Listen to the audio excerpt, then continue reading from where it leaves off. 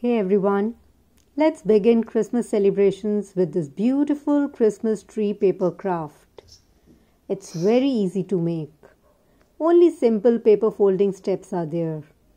For making this, we need green and brown construction papers, some decorative material and Fevicol.